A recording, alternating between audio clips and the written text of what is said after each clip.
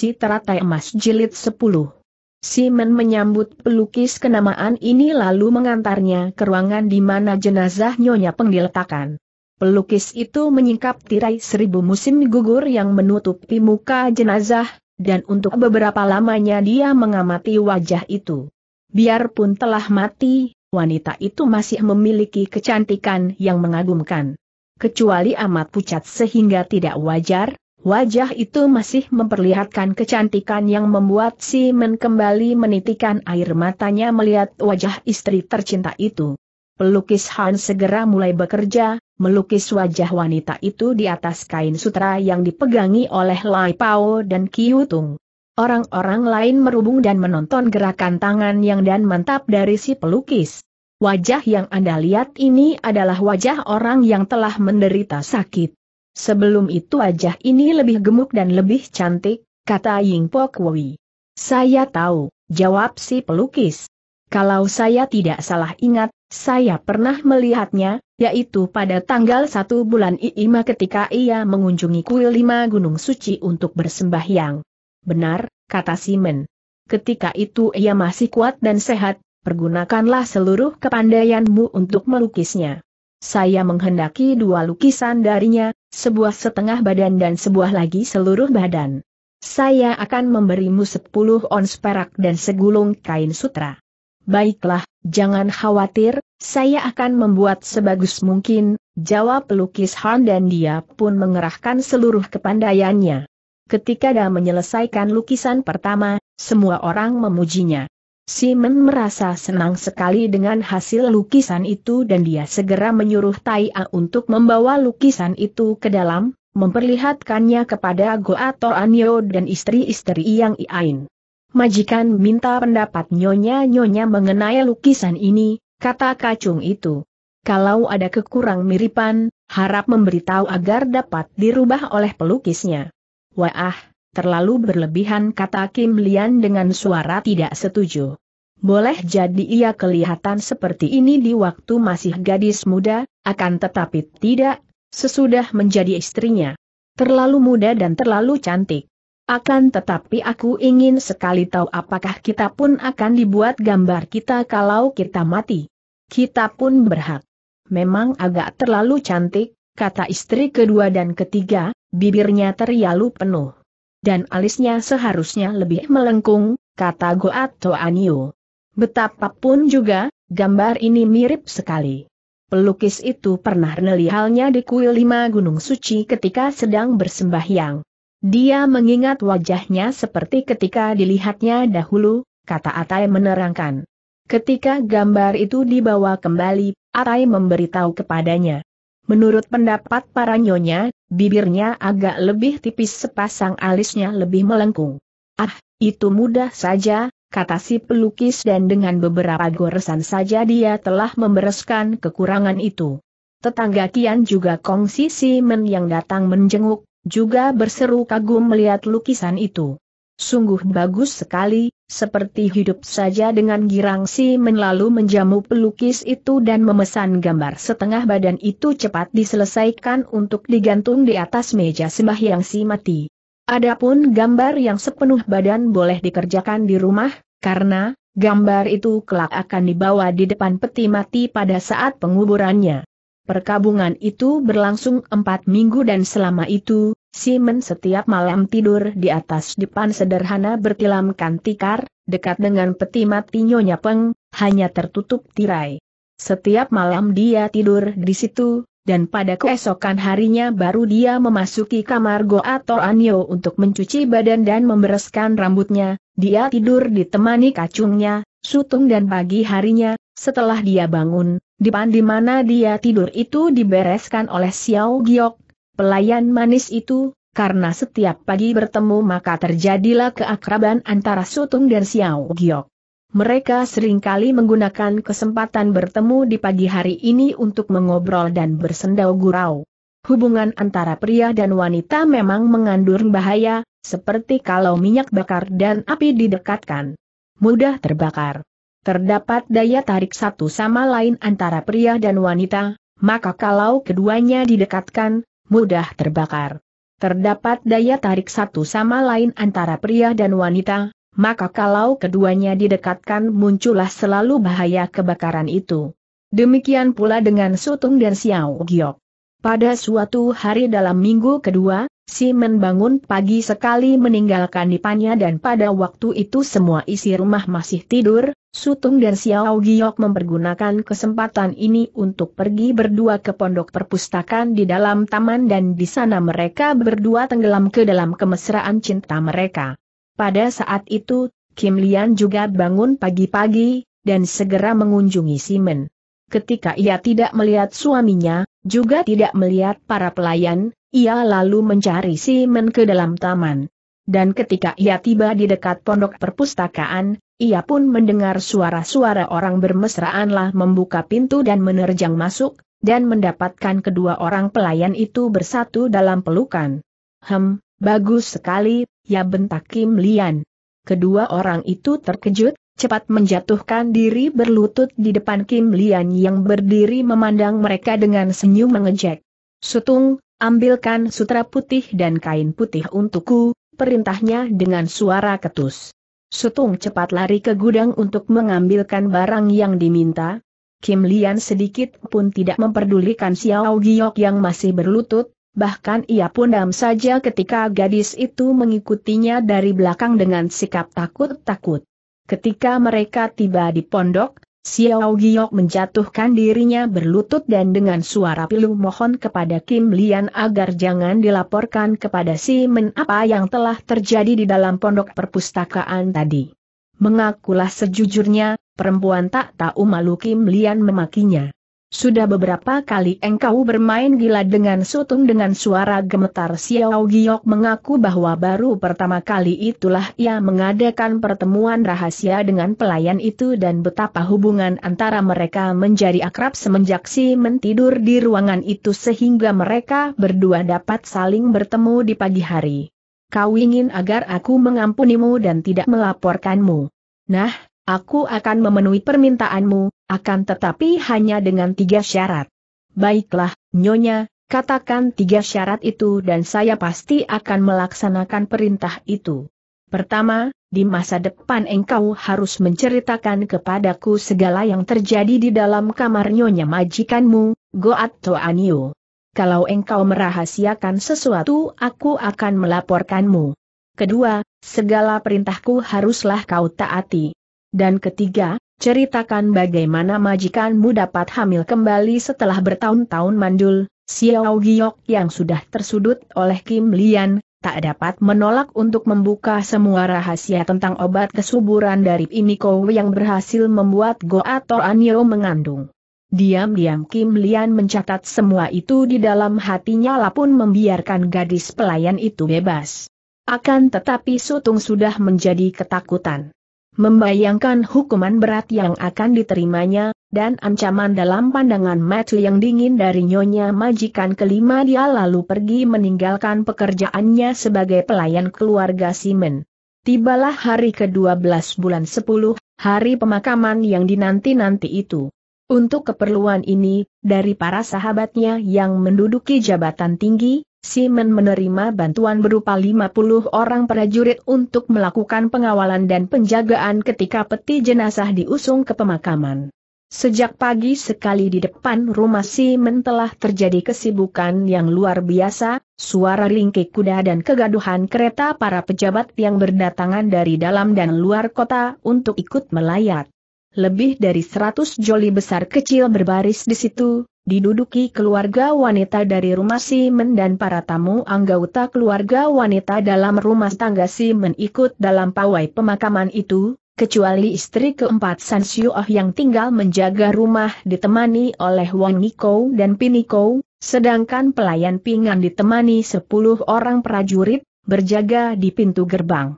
Tepat jam 8 pagi, Pemimpin pawai meniup peluitnya dan 34 pemikul peti mati yang amat berat itu pun bersiap siaga.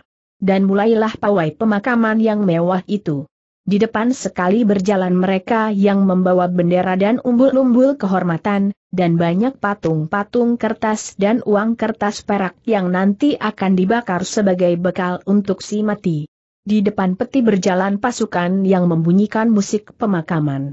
Tepat di belakang peti mati yang dipikul oleh banyak orang itu adalah Joli yang ditumpangi Go atau Anyo dan para istri Simen yang lain, disusul Joli para wanita tamu yang merupakan barisan panjang.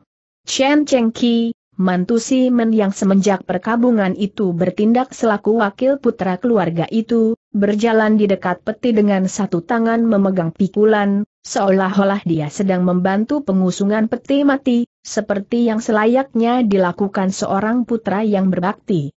Pagi itu cerah sekali. Di sepanjang jalan yang dilalui pawai pemakaman penuh dengan penonton dan mereka semua mengagumi kemewahan yang berlebihan dalam pawai pemakaman ini, seperti pesta saja, dan sudah lama sekali mereka tidak pernah menyaksikan pemakaman yang demikian indahnya. Ketika keluar dari jalan ke-8, pawai itu berhenti atas isyarat pemimpin pawai. Butosu, ketua kuil Giok Ong Bio yang mengenakan pakaian resmi sebagai seorang pendeta, di luar jubah pendeta kemerahan itu dia memakai mantel dari bulu bangau lima warna, di atas kepalanya sebuah mahkota susun sembilan melambangkan guntur dan kilat, dan kakinya memakai sepatu baru, dan tangannya memegang meja kecil dari gading. Dia pun dipikul di atas tandu oleh empat orang pemikul dan kini Butosu, atas isyarat dari Simen, tiba-tiba membuka gulungan gambar lengkap dari si mati yang telah dilukis oleh pelukis Han. Chen, mewakili putra keluarga, segera berlutut di depan gambar itu, di atas jalan berdebu dan dengan suara yang lantang Butosu mengucapkan kata-kata berkabung dan pemujaan terhadap si mati. Biarpun arwahnya telah memasuki sorga dan tubuhnya kembali ke bumi, namun di dalam gambar ini, ia akan terus hidup dalam generasi ini dan generasi mendatang. Demikianlah dia melanjutkan kata-kata pujian sambil mengibarkan gambar itu di atas kepala para pengikut. Kemudian dia, dia turun dari tandu dan kembali lagi, diiringi bunyi musik, dan pada saat itu dari para pelayat membubung tangis dan ratap yang bergema sampai ke awan dan mengguncang bumi. Dan pawai itu pun bergerak maju lagi. Dari pintu gerbang selatan, Simon dan para pelayat lainnya yang tadi berjalan kaki, kini menunggang kuda atau kereta. Hanya Chen saja, sebagai wakil putra keluarga, harus melanjutkan dengan jalan kaki, dengan tangan di pikulan, sampai akhir perjalanan itu. Ketika pawai tiba di pintu gerbang tanah kuburan, di situ telah menanti 200 pasukan yang menyambut dengan gambar dan canang sebagai penghormatan. Pada tengah hari itu, setelah diadakan persembahyangan kepada ibu bumi, peti mati itu perlahan-lahan diturunkan ke dalam tanah dan pemakaman pun berlangsung dengan penuh kehormatan, dengan upacara-upacara yang mengikutinya, pembakaran segala macam patung kertas sebagai bekal keadaan di situ pun menjadi bising, pengap dan panas. Setelah pemakaman selesai dan semua orang kembali ke rumah keluarga Simen, meja sembahyang yang tadinya ditaruh di ruangan itu kini dipindahkan ke dalam kamar si mati yang telah dibersihkan, dan ditempatkan di sudut yang terhormat. Tidak lupa diadakan upacara pengorbanan kepada para dewa penjaga rumah tangga, dan membersihkan rumah itu dari pengaruh-pengaruh setan jahat, menyapu lantai di luar pintu dan segala macam tradisi dan kepercayaan tahyul yang berlaku. Berakhirlah upacara yang berlangsung selama empat minggu itu, semenjak kematian sampai ke pemakaman dan tentu saja upacara itu menghabiskan uang yang tidak sedikit jumlahnya. Pada malam harinya, setelah semua pelayat pulang dan rumah itu menjadi tenang kembali, Simon terdorong oleh keinginan besar untuk mengunjungi pondok istrinya yang telah mati. Dia ingin bermalam di kamar itu, di dekat meja sembahyang dekat jendela kamar. Di meja sembahyang itu terpasang gambar setengah badan dari si mati, dan dinding tergantung gambar yang seluruh badan. Kamar itu diatur persis seperti ketika penghuninya masih hidup, tempat tidurnya baru saja dibereskan, dengan tilam dan bantal yang serupa seperti biasanya. Di sandaran kursi tergantung pakaian yang biasa dipakai si mati, di atas meja rias terdapat segala macam alat rias yang biasa ia pergunakan, juga nampak sepasang sandal yang biasa menyembunyikan kakinya yang kecil mungil. tempat bunga segar, dan di meja kecil dekat tempat tidur terdapat tempat buah yang terisi buah, manisan dan kue, dan juga dua buah cawan yang sering ia pergunakan minum sedikit anggur sebelum tidur. Melihat semua benda yang tidak asing ini mengingatkan si Men akan istrinya yang telah meninggal dan air matanya jatuh bercucuran.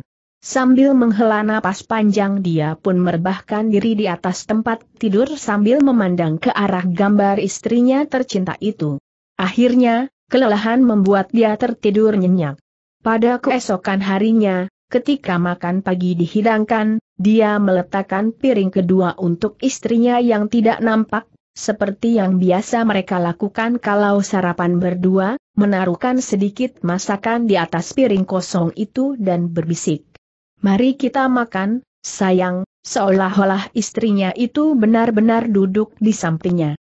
Dengan perasaan iba, perawat Yui dan pelayan Ciu Hwa melihat kelakuan aneh dari majikan mereka itu. Demikianlah keadaan si Men selama tiga hari tiga malam, tak pernah meninggalkan kamar. Pada hari ketiga, dia menerima tamu-tamu di sore hari dan malam itu dia merebahkan diri dengan tubuh yang terasa lesu dan lelah. Juga dia merasa haus sekali, ingin minum semangkuk air teh yang segar. Akan tetapi malam itu telah larut dan Ciu Hwa telah tidur, dan tidak mendengar panggilannya. Karena yang mendengar permintaannya itu adalah pengasuh muda Yui, maka ialah yang bangkit dan membawakan air teh seperti yang diminta majikannya. Ketika Yui berlutut di samping tempat tidur, menyuguhkan air teh, tiba-tiba saja bangkit gairah nafsu berahisi men dan tanpa banyak cakap lagi, setelah minum air teh itu, dia merangkul Yui dan menciuminya. Pelayan ini sedikit pun tidak meronta, bahkan membalas rangkulan Simon dan melayani segala keinginan hati Simon dengan senang hati. Dan malam itu Simon berhasil memiliki Yui yang kebetulan muncul pada saat berahi membakar dirinya, setelah selama masa perkabungan dia menahan diri dan menjauhi kesenangannya itu. Pada keesokan harinya, Simon berjanji untuk tidak melupakan Yeui dan pengasuh muda ini diberinya empat penjepit rambut dari emas yang dahulu menjadi milik nyonya majikannya. Rahasia ini segera diketahui oleh Chiu Hwa, melihat dari sikap Yeui yang sama sekali berubah, dan ia pun menerima hal ini sebagai suatu kenyataan bahwa kini Yeui setidaknya memiliki kedudukan yang tidak berada di sebelah bawahnya. Asap tak dapat ditutup, dan tak lama kemudian, dari sikap Yui sendiri, hampir semua penghuni rumah tangga dari keluarga itu dapat menduga apa yang telah terjadi antara majikan dan Yui dan tentu saja Kim Lian segera dapat mengetahui akan hal itu. Dengan marah ia mendatangi Goat Toranyo untuk melaporkan akan hubungan antara suami mereka dan Yui hal ini tidak boleh dilanjutkan, Toachi, engkau harus turun tangan. Sungguh memalukan sekali cara dia bermain gila dengan pengasuh itu di belakang kita. Hal itu terjadi sama seperti dengan istri pegawai dahulu itu, Silian Chu. Apakah kita harus membiarkan peristiwa memalukan itu terulang kembali sekarang?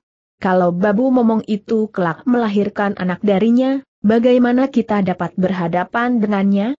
Wah, ia tentu akan mentertawakan kita akan tetapi Go atau Anyo tidak memperdulikan semua bisikannya lah teringat akan pesan terakhir dari nyonya yang keenam sebelum meninggal dunia agar ia berhati-hati terhadap Kim Lian. Aku tidak mau campuri urusan ini katanya dengan sikap ingin, engkau selalu minta agar aku menjadi pembicaranya, dan apabila keributan tiba, kalian semua menyelamatkan diri dan bersembunyi. Sedangkan aku sendiri yang harus menghadapinya. Sekarang aku telah berpengalaman, dan jika engkau tidak menyukai peristiwa itu, engkau sendirilah yang harus bicara kepada suami kita mendengar ini, Kim Lian mundur tanpa berkata apa pun. Pada kesempatan lain, ketika Piniko datang berkunjung kepada keluarga itu, diam-diam ia mengundangnya ke dalam pondoknya, memberinya satu ons uang perak, dan minta kepada Niko itu agar memberi obat ajaib seperti yang pernah diberikannya kepada Go atau Anyo agar ia dapat mengandung. Semenjak kematian istrinya, yang keenam satu-satunya wanita di antara semua istrinya yang dicintanya secara mendalam, yang merupakan satu-satunya wanita yang dapat membuat dia betah tinggal di rumah, kini penyakit lama si menkumat kembali dan mulailah dia hampir setiap malam keluyuran keluar rumah, mengunjungi tempat-tempat pelesiran. Cumbuan yang canggung dari seorang pengasuh seperti Yui yang tidak berpengalaman, tentu saja tidak dapat memuaskan hatinya. Pada suatu hari, dia menerima undangan seorang sahabat dagangnya bernama Wang Se, untuk makan minum dalam rumah pelesiran Bibi Chong, dihadiri pula oleh dua orang sahabat baiknya, Ying Pokwi dan Chia Sita. Mereka dilayani oleh dua orang anak dari Bibi Chong, yang bernama Xiang Hwa dan Xiao Goat. Si Men amat tertarik dan suka kepada Xiao Goat yang mungil. Empat orang gadis penyanyi ikut memeriahkan pesta itu, dan Xiao Gin, seorang gadis dari rumah pelesiran tetangga, datang pula memenuhi undangan. Setelah puas minum, Simon menggandeng Xiao Goat, diajaknya berjalan-jalan dan masuk ke dalam kamar yang terpencil. Manis, kalau engkau mau bersikap manis kepadaku dan tidak melayani pria lain, aku akan memberimu uang belanja setiap bulan. Untuk 20 atau 30 hon sebulan, saya mau melayanimu seorang, jawab gadis itu. Baiklah, akan kuberikan engkau 30 ons, Simon mendapatkan seorang kekasih baru yang cukup menarik hatinya sehingga dia berjanji akan sering datang berkunjung. Pada hari ke-10 bulan 11, datanglah surat perintah dari ibu kota timur, yang memanggil semua pejabat tinggi untuk datang berkumpul ke kota Kai Hanghu, menghadiri rapat di mana akan diadakan upacara kenaikan pangkat bagi mereka yang telah dianggap berjasa. Simon termasuk seorang di antara mereka yang dianggap berjasa, dan mendapat kenaikan pangkat, yaitu menjadi hakim pertama distrik Cheng Ho Sian menggantikan kedudukan rekannya, Xia. Adapun Hakim Xia kini dinaikkan pangkatnya sebagai komandan pengawal istana. Sedangkan seorang keponakan dari Taikam Hao memperoleh jabatan yang tadinya dipegang Simen. Menerima surat perintah ini, Simen cepat berkemas dan pada tanggal 12 bulan itu Simen berangkat bersama rekannya, Hakim Xia, dengan pengawalan 20 orang, menuju ke ibu kota timur. Selama kepergian Simen yang akan memakan waktu kurang lebih dua minggu itu, Goato Anyo melakukan penjagaan ketat untuk ketertiban rumah tangganya. Penjaga pintu gerbang Pang'an dipesan untuk membuka pintu hanya kalau ada keperluan mendesak dan hanya atas izin darinya. Pintu masuk ke bagian tempat tinggal para wanita, dikunci dari sore sampai pagi hari berikutnya. Goato Anyo sendiri melakukan pengawasan ketat pada siang harinya, Bahkan ia melarang seorang anggota keluarga seperti Chen Chengki, mantu suaminya, untuk masuk ke rumah tanpa alasan yang penting, dan kalau keperluan mengharuskannya masuk, dia selalu didampingi seorang pelayan. Karena itu, sekali ini Kim Lian, sama sekali tidak memperoleh kesempatan untuk berbuat semaunya, melainkan seperti para istri lainnya, duduk dengan tenang di dalam pondoknya, melakukan pekerjaan rumah atau menghibur diri dengan para pelayan. Namun ia masih sempat memuaskan hatinya dengan sering mengomel Yui, kekasih suaminya yang baru. Pada akhir bulan 11 itu tibalah si kembal ke rumahnya dan hal pertama yang dilakukannya, setelah dia mencuci diri dan berganti pakaian bersih, adalah melakukan sembahyang di pekarangan dan dengan berpuasa dia berlutut dan menghaturkan terima kasih kepada bumi dan langit karena dia memperoleh anugerah kenaikan pangkat dan keselamatan dalam perjalanan itu. Dia tergesa-gesa pulang untuk dapat ikut merayakan hari ulang tahun istrinya yang ketiga, yaitu Monglok. Pesta ulang tahun itu diadakan dengan meriah dan di antara para tamu yang berdatangan, terdapat Piniko dan Wang Niko yang bermalam di situ. Piniko memenuhi janjinya dan membawakan obat yang dipesan oleh Kim Lian. Dengan cerdik pendeta wanita itu berhasil menyelinap keluar dari pondok Gol atau Anyo dan mengunjungi Kim Lian secara diam-diam. Inilah obat yang saya janjikan itu, katanya sambil memberikan botol yang terisi obat itu kepada Kim Lian. Pada hari tujuh kali tujuh dari dua bulan, Obat ini harus dicampur dengan sedikit anggur, dan diminum dengan perut kosong. Jika malam harinya engkau tidur dengan suamimu, tentu engkau akan mengandung seorang anak laki-laki. Nyonya majikan yang tinggal di bangunan induk telah mengandung setelah minum obat ini.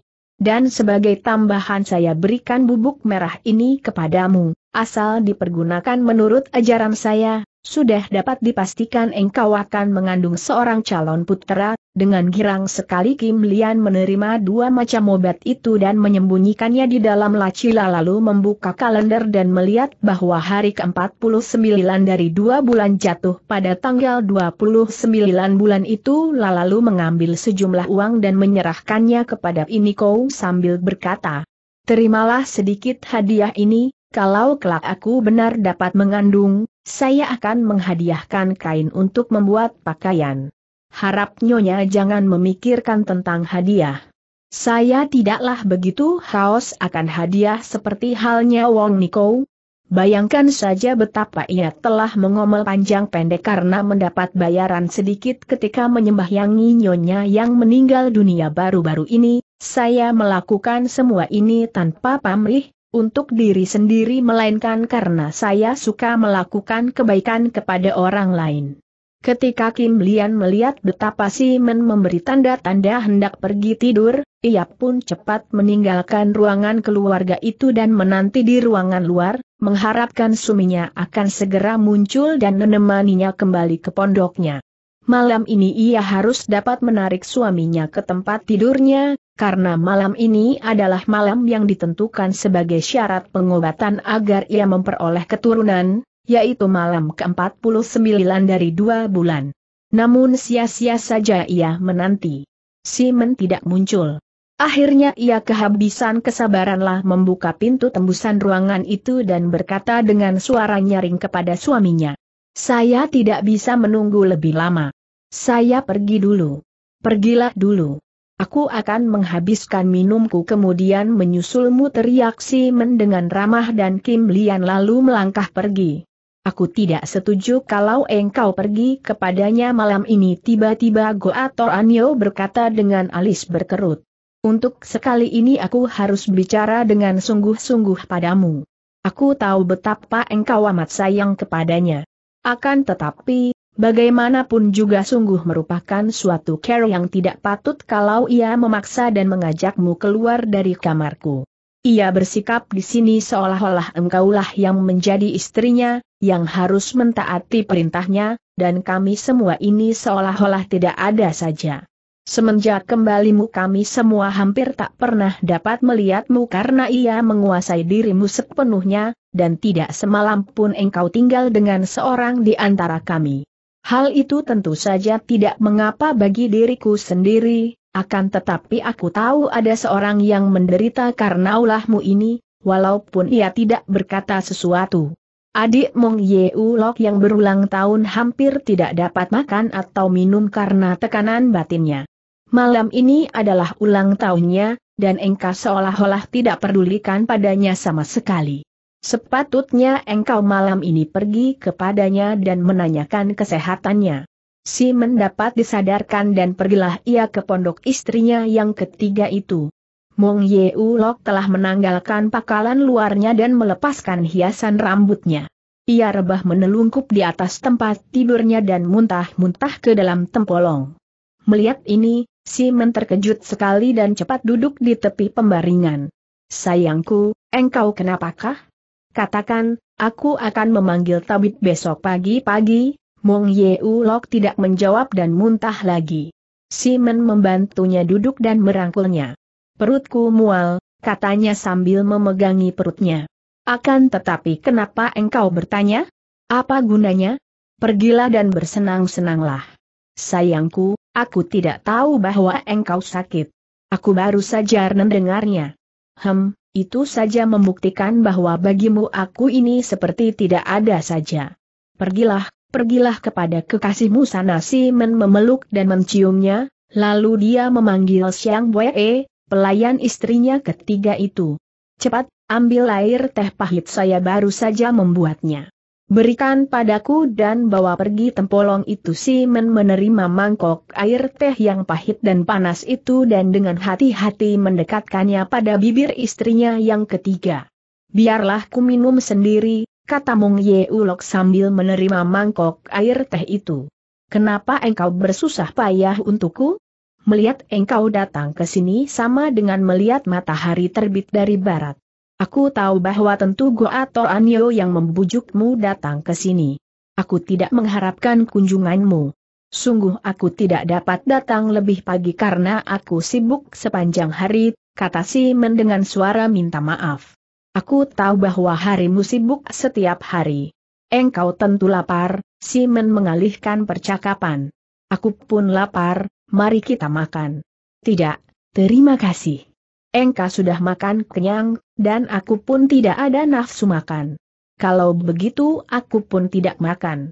Besok aku akan memanggil tabib Yen, dan marilah kita tidur, tidak usah repot memanggil tabib. Oh ya, aku akan mengobatimu sendiri. Seorang kenalanku baru-baru ini memberiku sepuluh butir pel empedu kuantung yang terbaik. Obat yang manjur sekali untuk penyakit perut. Xiang Bue, pergilah engkau kepada Goa Anyo dan mintakan dua butir pel itu, di dalam botol yang kutaruh dalam laci meja riasnya dan bawakan seguci arak panas sekalian. Aku ingin sekali tahu tabib macam apa engkau ini kata Mong Yeu Lok yang mulai mencair hatinya. Kalau perlu arak, di sini pun ada, tak lama kemudian Siang Bwe datang membawa dua butir pel yang diminta. Simon membuka buntalan malam dari obat itu dan mencairkannya dalam secawan anggur panas. Setelah istrinya meminum obat itu, Si meminta kepada Siang Bwe untuk membawakan seguci arak untuk dirinya sendiri. Aku pun akan minum obat, katanya. Mong Ye Lok tahu obat apa yang ingin diminum suaminya. Huh, apakah tidak lebih baik kalau engkau pergi ke tempat lain tempat untuk itu? Kurasa di sini bukan tempatnya untuk mempergunakan obat semacam itu.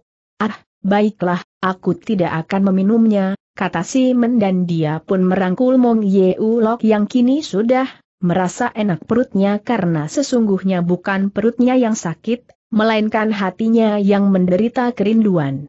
Bagaimana rasanya perutmu sekarang? Tanya Simon sambil mencumbunya. Sudah enakan. Syukurlah.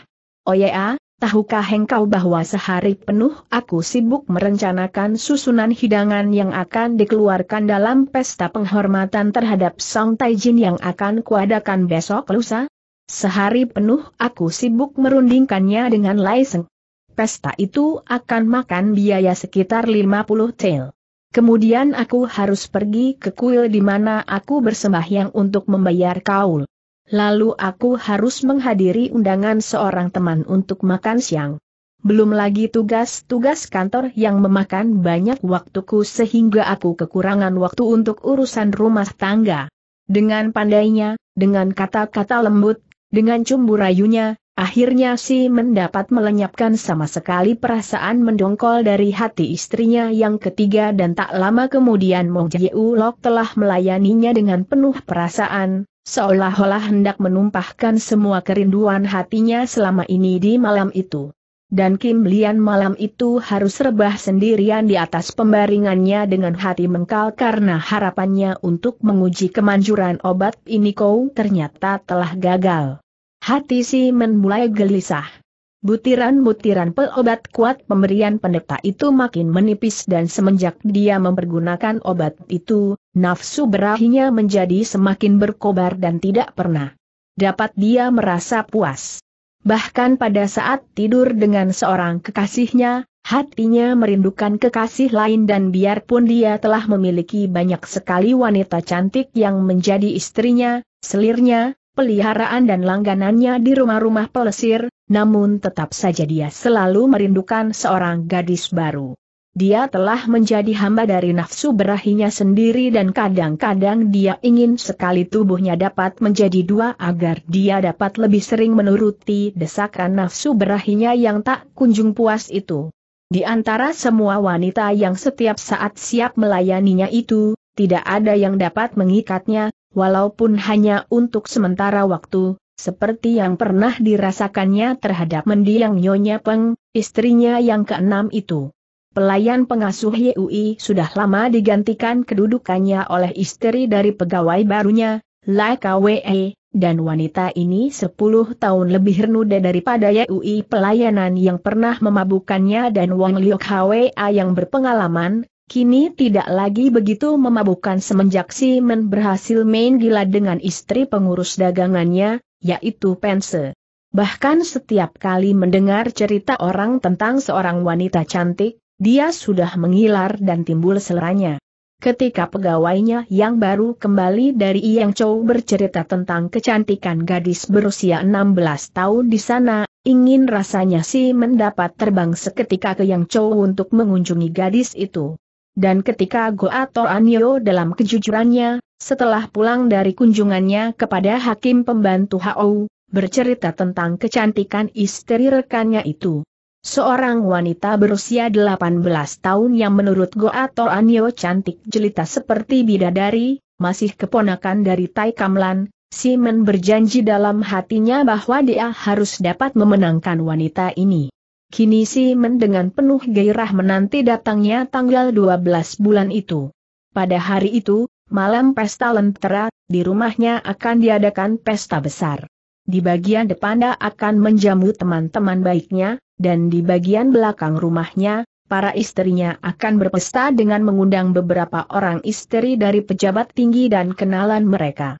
Dan dalam kesempatan itulah si ingin sekali dapat melihat wanita-wanita cantik yang akan menjadi tamu istri-istrinya, terutama sekali istri dari rekannya, Hao, seperti yang diceritakan oleh Goato Anyo kepadanya. Hari yang dinanti-nantikan itu pun tibalah. Pagi hari itu Simon tidak pergi ke kantornya. Pagi-pagi dia sudah bangun karena dia ingin mengawasi sendiri persiapan yang diadakan untuk pesta di rumahnya. Setelah hari naik tinggi mulailah tamu-tamu wanita berdatangan, hanya istri rekannya Hakim pembantu HOU belum juga muncul. Simon merasa gelisah dan sudah tiga kali dia mengutus pelayannya untuk mengulangi undangannya ke rumah keluarga HOU. Akhirnya muncullah orang yang dinanti-nantikannya itu. Simon mengintai dari balik tirai kamar barat dan jantungnya berdebar keras, tubuhnya gemetar penuh gairah, ketika dia melihat tamu ini turun dari Joli dan disambut oleh Goato Anio. Usianya paling banyak 18 tahun, pakaiannya serba indah dan mewah, dan tubuhnya yang tinggi semampai dan padat itu nampak langsing sekali dengan adanya sabuk kemala dan emas yang mencekik pinggangnya. Wanita muda ini sungguh cantik jelita, bahkan penggambaran Goator Anyo itu masih jauh daripada kenyataannya. Betapa cantik jelita, dan anak rambutnya yang melingkar-lingkar di pelipisnya itu seperti menantang. Sepasang matu itu begitu jernih dan jeli, dengan kerling yang tajam memikat, dan mulut itu. Sepasang bibir yang kecil tapi penuh dan menantang, merah membasah. Pinggang itu agaknya diciptakan untuk dipeluk, dan suaranya seperti hembusan suling perlahan di malam terang bulan musim semi. Sepasang kakinya begitu kecil mungil dan ringan, seolah-olah tubuhnya tidak melangkah melainkan melayang-layang seperti seorang bidadari. Dia lebih indah dari bunga, lebih indah dari permata, Menyaksikan keindahan ini, mendengar suaranya yang lembut, Simon terpesona dan keharuan menyusup sampai ke tulang sumsum. Dia seperti mabuk dan sukmanya melayang-layang. Baru dia sadar ketika dia diundang oleh Goator Anyo untuk diperkenalkan kepada tamu ini. Ketika dia membungkuk dengan hormat di depan bidadari itu, jantungnya melompat-lompat seperti gila, dan matanya menjadi silau. Hanya tata susila dan kesopanan yang memaksanya untuk segera mundur setelah perkenalan itu dan bagaikan seorang yang kehilangan semangat dia duduk di antara teman-temannya, tanpa mengeluarkan sepatah pun kata. Sering kali dia menyelinap keluar, dari ruangan pesta kaum pria itu untuk mengintai dari balik tirai, melahap kecantikan istri rekannya itu. Engkau kenapakah, Toa Koyeng Pokwi bertanya. Apakah engkau merasa tidak enak badan? Aku kurang tidur selama beberapa malam ini dan aku merasa agak lelah, jawabnya dan berpura-pura, menguap. Pembaca yang mulia, purnama tidak selamanya penuh, warna awan tidak bertahan selamanya. Apabila nasib baik sudah mencapai puncak tertinggi, Sudah menjadi hukum alam bahwa nasib buruk akan mulai muncul, dan demikian sebaliknya. Simon selama ini mengira bahwa nama dan kedudukannya merupakan jaminan terlaksananya semua gairah nafsunya. Dia sama sekali tidak menyadari bahwa iblis telah lama mengintai untuk menghadapkannya kepada pembayaran hutang-hutangnya pada saat dia mencapai puncak kesenangan dan kemewahan. Ketika para tamu wanita hendak meninggalkan rumah itu pada sore harinya, pelayannya yang terpercaya, Atai, memberi isyarat dan cepat Simon meninggalkan meja pesta, mengintai lagi dari tempat sembunyinya di kamar barat. Bagaikan seorang kelaparan melahap hidangan yang nikmat, Simon seperti hendak menelan wanita cantik yang menjadi istri rekannya itu ketika nyonya muda itu meninggalkan ruangan dan menaiki jolinya untuk diangkut pergi. Dengan lemas dan berulang kali menghela napas panjang Simon kembali ke tempat teman-temannya berpesta. Ketika dalam cuaca yang mulai gelap itu dia kembali ke tempat para tamunya yang sudah mulai mabuk, hampir saja dia bertabrakan dengan Huyen, istri yang masih muda dari pelayan Lai Kwe dan peristiwa ini terjadi tepat di luar kamar wanita itulah baru saja kembali dari ruangan tamu wanita di mana ia membantu melayani mereka. Melihat wanita ini, makin berkobarlah gairah yang sudah membakar hati Simon karena dia tergila-gila kepada istri rekannya tadi. Tidak ada orang di situ dan suami wanita ini pun sedang sibuk, entah di mana. Tanpa banyak cakap lagi Simon memondongnya ke dalam kamar itu. Kalau batin sudah dicengkeram nafsu. Segala yang lain sudah tidak berlaku, sasaran tujuan hanyalah satu, memuaskan nafsu. Pada keesokan harinya, Simon merasa lelah dan lesu, dan dia pun tidak pergi ke kantornya, mengambil keputusan untuk santai hari itu. Dia mencoba memasuki perpustakaan dan membaca, namun otaknya juga terlalu lesu untuk dapat membaca, maka dia pun hanya merebahkan diri dan menyuruh kacungnya yang bernama Wang Cheng untuk memijati kakinya. Selesai kacung itu memijatinya, masuklah Xiao Giok si pelayan membawa setengah botol air susu dari dada Yui sendiri. Hal ini saja menyatakan betapa Yui amat memperhatikan kesehatannya. Dia menyuruh kacung Wang Cheng pergi dan minum air susu itu, kemudian memberi dua buah penjepit rambut emas kepada Xiao Giok. Hadiah ini bukan karena air susu Yui, melainkan untuk diberikan kepada kekasihnya yang baru Huyen. Melihat ini, Xiao Giok melihat suatu keuntungan bagi dirinya sendiri karena ia mempunyai suatu berita yang amat menarik untuk disampaikan kepada nyonya kelima Kim Lian.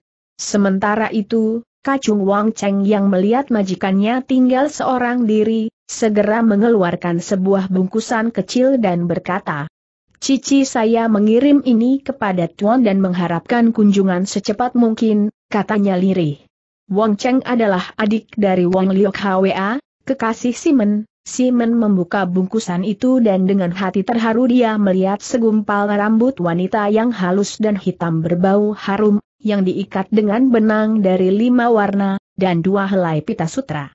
Ini merupakan pernyataan cinta dan rindu dari kekasihnya itu. Dia cepat menyembunyikan benda itu ke dalam lengan bajunya ketika tiba-tiba muncul Go atau Anio dari balik tirai. Air, ke mana saja engkau? Aku telah menyediakan sup yang akan menguatkanmu. Apakah engkau masih merasa tidak enak badan? Kedua kakiku terasa pegal-pegal mungkin engkau masuk angin. Marilah, sap yang kusediakan akan menyehatkan tubuhmu, Simon bangkit dan mengikuti istri pertamanya ke dalam ruangan dalam dan memakan sup yang telah disediakan itu. Pesta-pesta tahun baru ini agaknya terlalu melelahkan dirimu, kata Goat Toanio. Engkau harus lebih banyak beristirahat dan tidak membiarkan teman-temanmu untuk membujukmu terlalu banyak minum arak. Engkau memang benar sekali istriku. Aku seharusnya agak menjauhi tempat minum arak itu. Akan tetapi bagaimanapun juga, tidak mungkin dapat menghindarkan undangan makan resmi. Hari ini, siang nanti, aku harus mengunjungi pesta ulang tahun saudara ipar Hwa. Malam harinya aku akan berjalan-jalan melalui pasar Lentera, dan aku akan mampir dan melihat keadaan toko kita di Jalan Singa, di mana aku dapat makan malam secara sederhana tanpa arak bersama dua orang pengurus tokoku. Akan tetapi, biarpun mulutnya bicara demikian, tentu saja pikirannya melayang kepada rumah yang berlainan di jalan singa itu. Setelah dia berkunjung kepada saudara iparnya Hwa, kemudian menonton keramaian pasar lentera dan menikmati suasana pesta di situ, dia lalu singgah di tokonya di jalan singa. Dia mendengarkan laporan pekerjaan dari Pense dan adik ipar Wu yang untuk sementara menggantikan kedudukan Honta Oko yang sedang melakukan pekerjaan dan keluar kota, kemudian si Men makan bersama mereka. Sebagai seorang istri yang amat memperhatikan keperluan suaminya, Go atau Anyo telah mengirimkan makanan dan anggur ke toko itu. Setelah makan malam, bersama dua orang pengurus tokonya Men untuk beberapa lamanya menikmati suasana pesta di pasar lentera yang menjadi semakin meriah setelah malam tiba karena lentera-lentera itu menjadi seribu satu macam cahaya. Kemudian Men meninggalkan tokonya, bukan untuk pulang, melainkan untuk mengunjungi kekasihnya, Wong Liok Hwa, istri dari pegawainya, Hanta Oko, yang tinggal tidak begitu jauh dari tokonya. Wanita ini telah mendengar akan kunjungan majikan yang juga menjadi kekasihnya ini, maka ia pun sudah mempersiapkan diri, bersolek secantiknya. Hem, kenapa sudah lama engkau tidak datang berkunjung ke rumah? Goator Anyo sudah dua kali mengundangmu, tanya si Men setelah mereka berdua duduk bersanding. Akhir-akhir ini saya merasa malas dan tidak bersemangat untuk pergi keluar rumah, wah, agaknya rindu kepada suamimu, ya? Sama sekali teledak. Akan tetapi, kunjunganmu ke sini semakin jarang saja sehingga saya berpendapat bahwa agaknya Kong Chu mulai bosan denganku. Apakah barangkali ada yang baru? Wah, omong kosong.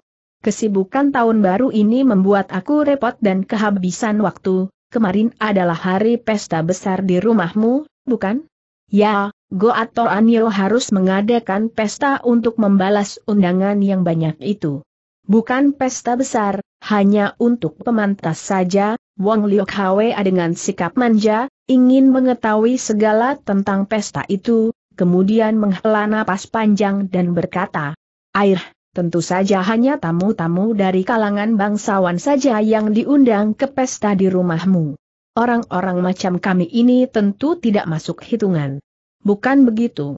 Pada tanggal 16 nanti tibalah giliran pesta untuk para pengurus perusahaanku dan istri-istri mereka, dan engkau tentu akan diundang pula, kata Simon menghibur.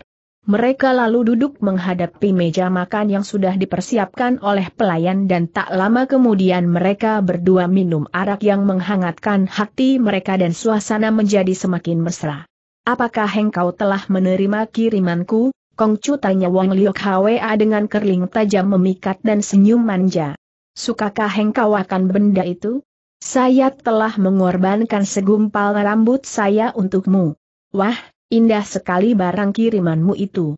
Terima kasih setelah tubuh dan hati menjadi panas, si lalu menelan sebutir pel kuat pemberian pendektavan itu, kemudian mengajak kekasihnya pindah ke tempat tidur. Akan tetapi, biarpun si Men telah meminum pel dan Wang Liok Hwa telah mengeluarkan semua keahliannya untuk menyenangkan hati kekasihnya, tetap saja si Men tidak kelihatan bergembira seperti biasa. Pikirannya masih melayang-layang kepada Nyonya Hao yang telah membuatnya tergila-gila. Apakah engkau masih sungguh-sungguh mencintaku? Tanya si Men sambil lalu untuk menghibur pikirannya yang terus membayangkan wanita lain itu. Perlukah engkau bertanya lagi kepada saya, Kongcu? Air, saya mencintamu dengan sepenuh jiwa dan ragaku, Kongcu, tanpa Kongcu, hidupku akan menjadi kosong tiada artinya bagiku. Saya selalu merasa gelisah kalau membayangkan kembalinya suamiku dari perjalanannya. Saya membencinya, bahkan. Untuk bicara saja dengannya saya merasa muak, senanglah hati si Men mendengar ini, percaya sepenuhnya bahwa kekasihnya bicara sesungguhnya. Bagaimana kalau sepulangnya nanti aku akan memberi seorang istri lain kepadanya? Ya, Kongcu, carikanlah seorang istri lain untuknya kata Wong Liok Hwa yang kelihatan gembira. Kalau sudah begitu, terserah Kongcu apakah saya akan tinggal sendirian ataukah akan Kongcu boyong ke dalam rumah keluarga Kongcu, ia merangkul manja. Sekarang tubuh dan nyawaku adalah milikmu seorang, Si Mah mengeluarkan selembar uang kertas. Ambillah ini, dan engkau boleh mengambil sebuah pakaian baru, sesukamu. Di toko suteraku yang kedua itu Wong Liok Hwa mengucapkan terima kasih dengan pencurahan kasih sayang yang semakin mesra. Ia membayangkan bahwa ia akan diboyong ke dalam keluarga Simen sebagai pengganti istri keenam, maka ia pun mencurahkan seluruh perasaannya untuk melayani dan memuaskan hati Simen malam itu. Setelah tengah malam, Simen naik ke atas pelana kudanya dan berangkat pulang. Perlahan-lahan dia menjalankan kudanya melalui jalan singa menuju ke barat. Jalan itu kini telah menjadi sunyi sekali, diterangi oleh sinar bulan yang dikurung awan. Simen berada dalam keadaan mabuk dan juga lelah sekali, mengantuk. Dua orang kacungnya, Atai dan Kiutung, berjalan di kanan kiri kudanya, berjaga-jaga kalau-kalau majikan mereka itu akan terjatuh dari kudanya setelah tadi mereka membantunya naik, sedangkan kacung ketiga, Wong Cheng, membawa lentera berjalan di depan untuk menerangi jalan.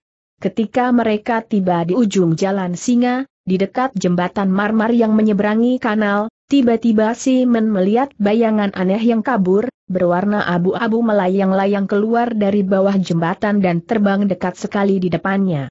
Kudanya agaknya juga melihat ini karena kuda itu meringkik kaget, mengangkat kedua kaki depan kemudian dengan ketakutan kuda itu meloncat dan lari secepatnya seperti diterbangkan angin dan baru setelah tiba di depan pintu gerbang rumah Simen, kuda itu berhenti secara mendadak dengan mulut berbuih dan tubuh gemetar. Ketika kuda tadi kabur, Simen menelungkup dengan takut sekali, dan berhasil mencengkeram bulu kuda sehingga tidak terlempar jatuh, dan kini, telah kehabisan tenaga, dia melorot turun dibantu oleh penjaga pintu gerbang yang cepat berlari menyambutnya. Tiga orang kacung datang dan ketakutan karena mereka tahu bahwa tadi telah bertemu dengan malaikat lemaut dan ini menandakan bahwa dalam waktu dekat akan terdapat kematian. Dalam keadaan lelah dan masih ketakutan, Simon dibantu oleh kacung-kacungnya, minta diantar ke pondok Kim Lian. Kim Lian memang sedang menunggunya, dan belum tidur. Ia membantu Simon membuka sepatu dan pakaian, membawanya langsung ke tempat tidur. Begitu tubuhnya menyentuh kasur, Simon segera tertidur. Dia demikian lelah dan mabuk, dan kini Kim Lian hanya dapat mendengar dengkurnya saja. Hati wanita ini mendongkol. Sejak tadi dia menanti dengan hati penuh kerinduan, dengan gairah yang ditekan-tekan dan ditahan-tahannya. Sekarang, setelah yang ditunggu-tunggu datang, Ternyata laki-laki ini hanya datang untuk tidur mendengkur. Ia lalu mulai mencumbu suaminya itu. Akan tetapi si Men tetap saja tidur. Karena tidak sabar lagi, Kim Lian menguncang-guncang tubuhnya sampai dia terbangun. Di mana engkau menyimpan pel kuat dari pendeptafan itu tanyanya, berbisik di dekat telinga suaminya. Ah ah, biarkan aku tidur. Jangan ganggu aku, aku lelah sekali. Malam ini, aku tidak ingin apa-apa lagi. Kecuali tidur, si Men menggumam setengah sadar. Tapi, di mana pel itu kau simpan, Koko Kim Lian mendesak. Karena tidak ingin diganggu, si Men menjawab dengan mata masih terpejam. Di dalam saku bajuku, dalam peti emas kecil Kim Lian cepat mencari peti kecil itu dan hatinya merasa gembira menemukan benda yang dicarinya. Ketika tutup peti dibukanya, di situ tinggal empat butir pel. Dia amat lelah dan tidak bergairah, kalau hanya minum sebutir seperti biasa, mungkin kurang kuat pikirnya. Maka ia pun memasukkan empat butir pel itu ke dalam arak, lalu mengangkat leher Simen. Minumlah, Koko, biar engkau tidak lemas lagi lah membujuk.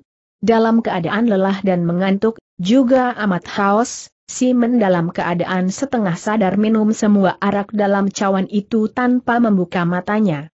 Begitu arak yang mengandung cairan empat butir pel kuat itu memasuki perutnya, nampaklah akibatnya yang amat menyenangkan hati Kim Lian.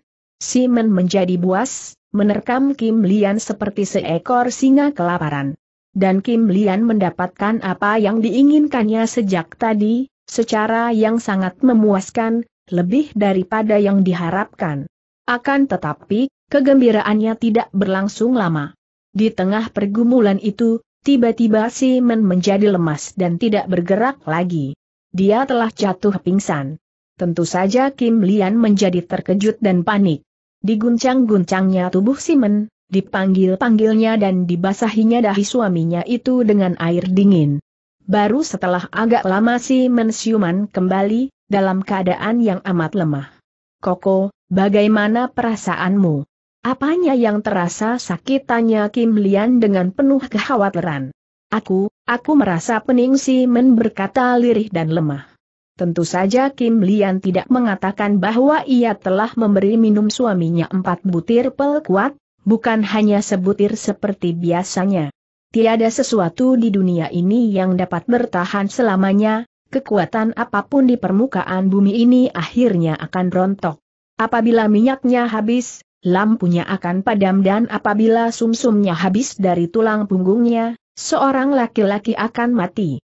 Pada keesokan harinya, berkali-kali si menjatuh pingsan dan setelah siuman, dia hanya dapat duduk seperti seorang kakek tua renta di atas kursi, sama sekali tidak mampu berbuat apa pun.